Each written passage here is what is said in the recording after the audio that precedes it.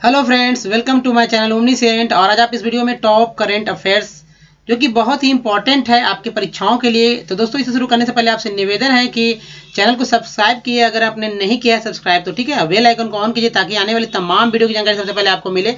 और सभी से आग्रह है कि लाइक बटन ज़रूर दबाएँ और अधिक से अधिक लोगों तक शेयर करें। तो दोस्तों, इस वीडियो में जो कुछ खास प्रश्न है, उसके बारे में जान लीजिए। कौन कौन से प्रश्न रहेंगे जो कि आप इस बारे में और इन प्रश्नों को डिटेल में जानेंगे, ठीक है? तो जैसे पहला प्रश्न है कि तेरह अगस्त दो हज़ार अठारह को जो है पूर्व लोकसभा अध्यक्ष सोमनाथ चटर्जी नहीं रहे। इनसे संबंधित प्रश्न पहला है, दूसरा प्रश्न में जो है, जो कि बिहार से बिहार से जुड़े जुड़ा हुआ है और 2020 तक के लिए बहुत इंपॉर्टेंट हो जाएगा ये प्रश्न, क्योंकि पटना हाईकोर्ट के इकतालीसवें मुख्य न्यायाधीश ने जो है शपथ ले लिया है। तो कौन है? इसके बारे में जानेंगे। इसके अलावा जो इसरो ने जो चंद्रयान टू है, उसको प्रक्षेपित करने का जो समय जो है, चेंज कर दिया है। इसके अलावा भी कुछ और प्रश्न है, जैसे बी एस के बारे में ठीक है, इसके अलावा कुछ और भी महत्वपूर्ण प्रश्न तो इन प्रश्नों को देखने के लिए आप जो है वीडियो को लास्ट तक देखें, ठीक है? तो आइए शुरू करते हैं।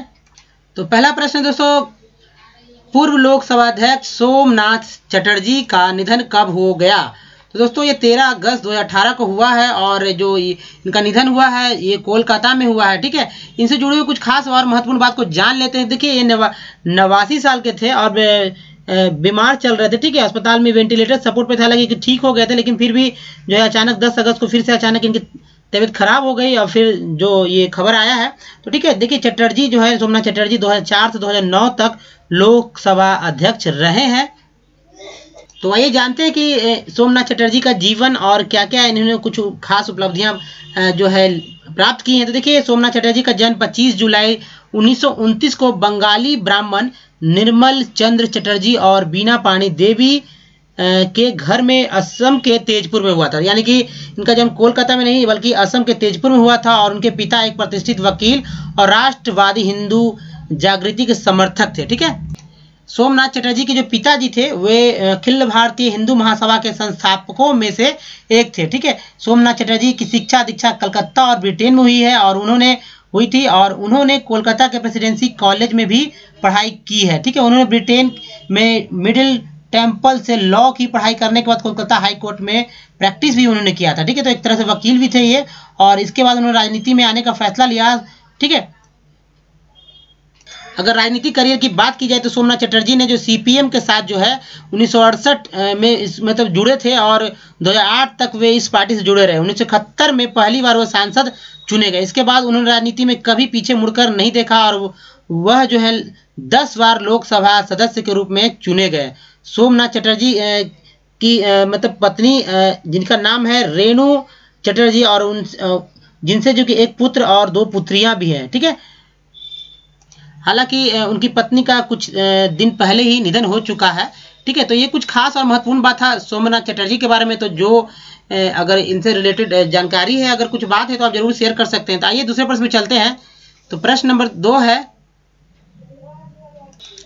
दोस्तों, देखिए, प्रश्न नंबर दो, जो कि पटना हाई कोर्ट यानी उच्च न्यायालय के, पटना उच्च न्यायालय के जो है, इकतालीसवें मुख्य न्यायाधीश के रूप में किसने शपथ ग्रहण किया है? तो ठीक है दोस्तों तो देखिए, शपथ ग्रहण करने वाले मुकेश कुमार रसिक भाई शाह ठीक है तो ये बहुत इंपॉर्टेंट है, इसलिए क्योंकि चौसठवीं बीपीएससी की परीक्षा आने वाली है। इसके अलावा जो आने वाली 2020 तक 15 मई 2020 तक चूँकि इनका कार्यकाल है तो तब तक जो है अगर प्रश्न अगर आता है, पटना हाईकोर्ट के बारे में पूछा जाता है कि चीफ जस्टिस कौन है, खासकर बिहार के परीक्षाओं से रिलेटेड तो देखिए, ये पंद्रह मई 2020 तक इनका कार्यकाल है और देखिए राजभवन के राज दरबार में राज्यपाल सत्यपाल मलिक ने 12 अगस्त को जो है जस्टिस मुकेश कुमार रसिक भाई शाह को पद एवं गोपनीयता की शपथ दिलाया है। देखिए दोस्तों, ये इनका जन्म गुजरात में हुआ है और सात मार्च एक पेशे से वकील थे और इन्होंने बहुत सारी जो है केस को सॉल्व किया है, ठीक है? खासकर सरकारी डिपार्टमेंट से जुड़ा हुआ है अब देखिए, सात हज़ार चार को जो है गुजरात हाई कोर्ट में ये न्यायाधीश मनोनीत हुए। और बाद में जो कि 22 जून 2005 को इनको अस्थाई न्यायाधीश बना दिया गया। ठीक है तो ये कुछ खास और महत्वपूर्ण बात था। अब आइए नेक्स्ट प्रश्न, जो प्रश्न नंबर तीन है जो कि चौथी, देखिए, चौथी बिम्स्टेक सम्मेलन का आयोजन जो कि 30 और 31 अगस्त को कहाँ किया जाना है? तो एक्चुअली 2000 ये 18 से संबंधित है, ठीक है? तो दोस्तों देखिए जो इम्पोर्टेंट ये है कि अभी 11 अगस्त को ही इससे ऑफिशियल एक तरह से बैठक हुआ था इस सम्मेलन के पहले, लेकिन इम्पोर्टेंट ये हो जाता है कि बिम्स, चौथी बिम्स्टेक सम्मेलन जो कि समिट है दो हज़ार अठारह का, वो एक तीस इकतीस अगस्त को होने वाला है, ये काठमांडू, ठीक? काठमांडू में होने वाला है, जो कि नेपाल की राजधानी है। अब देखिए इनसे जुड़ा हुआ कुछ खास बात आप जान लीजिए कि देखिए, जो कि जीके टाइप का हो जाएगा तो बिम्स्टेक का फुल फॉर्म क्या होता है? पहले तो आप कहीं नोट कर सकते हैं तो देखिए B I B I M S T E C BIMSTEC, ठीक है? अंग्रेज़ी का अक्षर है और इसको जिसका फुल फॉर्म है bay of Bengal initiative for multi sectoral technical and economic cooperation ठीक है? तो आप इसे पॉज करके फिर से सुन सकते हैं। अब देखिए इस, ये थीम जो रखा जाने वाला है 2018 का तो देखिए थीम है towards a peaceful prosperous and sustainable bay of Bengal region ठीक है? अब देखिए, ये संस्था जो है उन्नीस में इसको स्थापित किया गया था, और वर्तमान में जो सदस्य देश हैं इसके तो बांग्लादेश है, भूटान है, भारत है, नेपाल है, श्रीलंका है, म्यांमार है, और थाईलैंड है। सात देश इसके, सदस्य देश है अभी। अब भाई नेक्स्ट प्रश्न चलते हैं तो नेक्स्ट प्रश्न प्रश्न नंबर चार पे आते हैं। तो देखिए, प्रश्न नंबर चार है कि भारत की इकहत्तरवीं स्वतंत्रता दिवस को, यानी कि जो इकहत्तरवीं स्वतंत्रता दिवस को जो है, किस देश में जो है एक्चुअली ज़ाहिर सी बात है, यहाँ पर मैंने लिख दिया है। तो देखिए, नेपाल भारतीय भारत साहित्य महोत्सव के रूप में जो है, नेपाल में मनाया गया, और खासकर ये काठमांडू में। तो 12 तेरह अगस्त 2018 को ये नेपाल भारत साहित्य महोत्सव जो है, मनाया गया है। अब देखिए जो इम्पोर्टेंट ये है कि दोस्तों, एक बार फिर से आपको जो है, मैं यहाँ पर थोड़ा सा परेशान करना चाहूँगा कि जो हमारा चैनल है तो इसको सब्सक्राइब करें, ठीक है? और बेल आइकन को ऑन कर लीजिए, ठीक है? ताकि आने वाले तमाम वीडियो जानकारी सबसे पहले आप ही को मिले और अधिक से अधिक लोगों तक जो है, इसे शेयर करिए और पसंद आता है तो ज़रूर लाइक करें, ठीक है? अगर नहीं पसंद है तो डिसलाइक भी कर सकते हैं। दोस्तों, प्रश्न नंबर पाँच है कि देश के किस बैंक ने, ठीक है? पुराने मैजिस्ट्रिप, यानी कि मैग्नेटिक डेबिट कार्ड को बदलने का निर्णय लिया है। दोस्तों, ये भारतीय स्टेट बैंक ऑफ़ इंडिया यानी कि एसबीआई है, जिसने इस तरह का निर्णय लिया है। और इसके बारे में दोस्तों, देखिए, एसबीआई ने अपने ऑफिशियल ट्विटर हैंडल से यह जानकारी दी है कि वे ग्राहक जिनके पास पुराने मैजिस्ट्रिप यानी कि मैग्नेटिक डेबिट कार्ड है, उन्हें जल्द ही चिप कार्ड वाले, चिप कार्ड में बदलना होगा, ठीक है? एसबीआई के मुताबिक जो है, पुराने कार्ड के बदले ग्राहकों को ई एम वी चिप वाला डेबिट कार्ड जो है, लेना होगा, जो कि सुरक्षा के लिहाज से बेहतर है। और इसके लिए जो है दो हज़ार जो साल 2018 की जो समय सीमा तय की गई है। तो इस साल तक आप सभी को अगर इस तरह के कार्ड जो कि 2004-5 के बाद से जो है जारी किए गए थे बहुत सारे ग्राहक के पास है और वो क्यों है ये भी जान लीजिए। देखिए, अभी हाल ही में जो है छः अन्य बैंकों के साथ जो है, एस बी में विलय हुआ छः बैंक एस बी आई में विलय करके आ गए हैं, जिससे कि ग्राहकों की संख्या में काफ़ी बढ़ोतरी होगी। और ऐसे ऐसे में जो है इस कदम का असर जो है करोड़ों ग्राहकों पर भी पड़ने वाला है। तो ठीक है? तो दोस्तों ज़ाहिर सी बात है, अगर आप इस तरह काम, यानी कि जो अपना डेबिट, जो कार्ड नहीं बदलते हैं तो वे एटीएम से जो है ट्रांजेक्शन नहीं कर सकेंगे बाद में, ठीक है? तो और क्योंकि ये एटीएम मशीनें जो है, पुराने कार्ड को स्वीकार नहीं करेंगे। अभी वर्तमान में जो इस तरह की कार्ड जो है, खासकर सी डी एम यानी कि जो कैश डिपॉजिट मशीन है, उसमें स्वीकार नहीं की जाते हैं। ठीक है? तो आप प्रश्न नंबर छः है कि इसरो ने चंद्रयान टू को कब प्रक्षेपित करने का निर्णय लिया तो देखिए दोस्तों, ये निर्णय जो जनवरी 2019 में किया जाने वाला देखिए, इससे जुड़ा कुछ खास और महत्वपूर्ण बात को जान लेते हैं।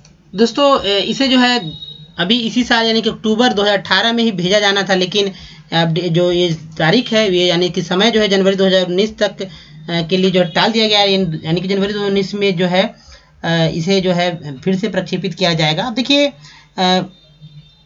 यह इस यान के बारे में कुछ और खास बात जानी देखिए चंद्रयान टू जो है अभियान के तहत चाँद पर एक शोध यान उतारने की तैयारी इसरो कर रहा था। लेकिन इस अभियान के तहत इसरो जो है इस शोध यान को चाँद पर उतारने से पहले उसे उसकी कक्षा में स्थापित करेगा और ठीक है?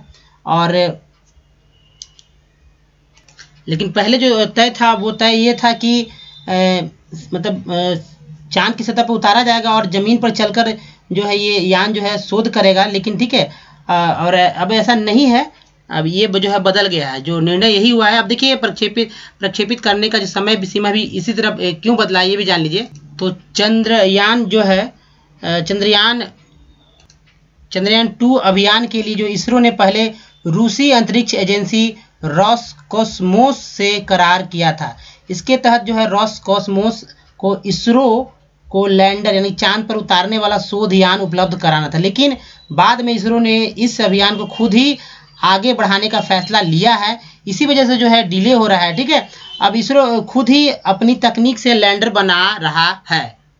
तो आइए नेक्स्ट प्रश्न में चलते हैं। तो देख दोस्तों, प्रश्न नंबर सात है कि राष्ट्रपति, ठीक है, रामनाथ कोविंद ने कब जो है राष्ट्रीय पिछड़ा वर्ग आयोग को संवैधानिक दर्जा प्रदान किया है? तो दोस्तों, इसे देखिए 12 अगस्त 2018 को राष्ट्र, संवैधानिक दर्जा मिल गया है राष्ट्रीय पिछड़ा वर्ग आयोग को। अब इसके बारे में कुछ और खास बात को जान लेते थे देखिए तो राम, राष्ट्रपति रामनाथ कोविंद ने राष्ट्रीय पिछड़ा आयोग, राष्ट्रीय पिछड़ा वर्ग आयोग को जो संवैधानिक दर्जा प्रदान करने वाले संविधान के एक संशोधन विधेयक को मंजूरी दे दी है। तो दोस्तों, आप कहीं नोट कर लीजिए कि संविधान का एक संशोधन विधेयक जो है, वो है राष्ट्रीय पिछड़ा वर्ग आयोग, यानी कि ओबीसी कमी ओबीसी कमीशन से रिलेटेड है ये।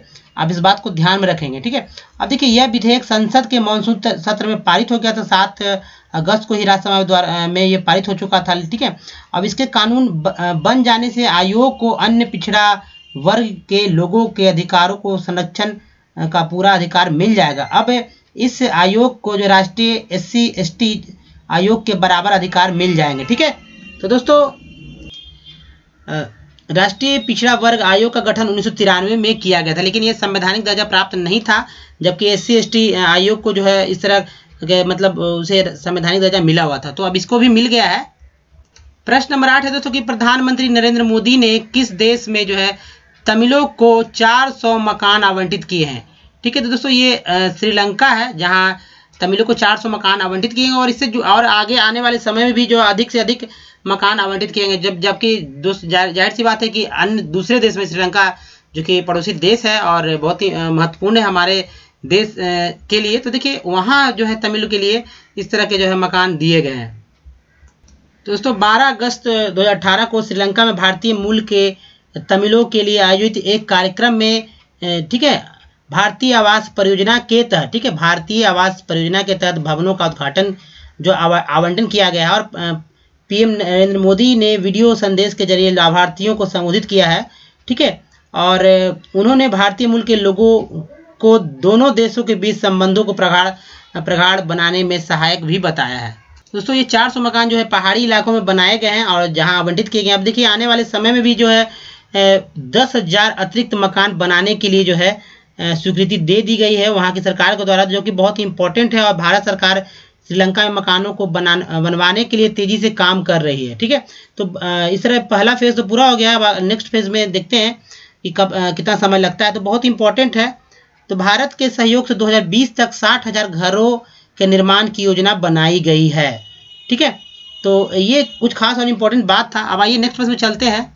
प्रश्न नंबर नौ है कि पंजाब में पंजाब में फिरोजपुर को, ठीक है, फिरोजपुर को हुसैनी वाला से जोड़ने वाला एक अस्थाई पुल को किसने राष्ट्र को समर्पित किया ठीक है दोस्तों, ये रक्षा मंत्री निर्मला सीतारमन है, जिन्होंने जो है कि बहुत ही इंपॉर्टेंट जो कि 250 फुट लंबा ये पुल है, उन्नीस सौ इकहत्तर के पाक, भारत पाक युद्ध के दौरान ये नष्ट हो गया था, जिसको जो है राष्ट्र को समर्पित किया है।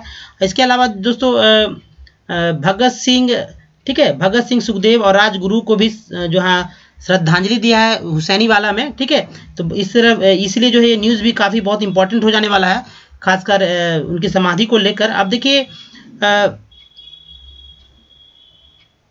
यह पुल जो है, ऐतिहासिक रूप से बहुत ही महत्वपूर्ण है, ठीक है? अब प्रश्न नंबर दस पे आते देखिए वी एस नॉयपॉल का निधन कब और कहाँ हुआ? दोस्तों 11 अगस्त 2018 को लंदन में जो है वी एस नॉयपॉल का जो है निधन हो गया है। तो पहले दोस्तों पहले ये जान लीजिए कि वी एस नॉयपॉल जो कि इनका फुल फॉर्म क्या है? विद्याधर सूरज।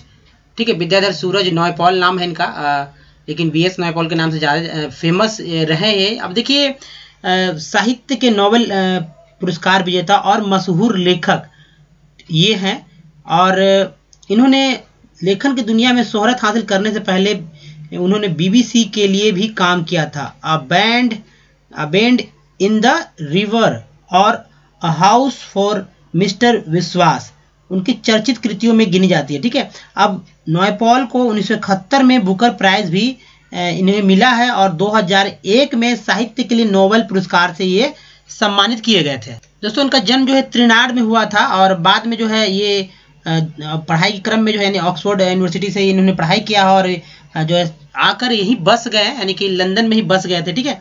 तो बहुत इंपॉर्टेंट है ये। पचासी साल की उम्र में जो है लंदन स्थित अपने आवास में इन्होंने आखिरी सांस लिया था।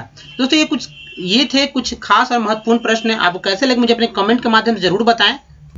तो दोस्तों, अगर वीडियो अच्छा लगा तो प्लीज़ सब्सक्राइब कर लीजिए। अगर आपने नहीं किया है तो और अधिक से अधिक लोगों तक शेयर ज़रूर करें, ठीक है? क्योंकि शेयर करने से ही बहुत ही कम जो है लोग जान पाते हैं इस तरह के न्यूज़ को, जो कि बहुत ही इंपॉर्टेंट है। और ज़ाहिर सी बात है, मैं दोस्तों हमेशा जो है, शॉर्ट में नहीं, थोड़ा सा डिटेल में ज़रूर बताता हूँ, ताकि आपके ज्ञान जो है, ज़्यादा अन्य जो है, अन्य लोग हैं, उनसे ज़्यादा रहे, ठीक है? तो और एक और बात कि अगर आपको वीडियो पसंद है तो लाइक ज़रूर करें, ठीक है? और नोटिफिकेशन को भी ऑन कर ले आने वाले तमाम वीडियो के लिए। तो दोस्तों, धन्यवाद। Thanks for watching.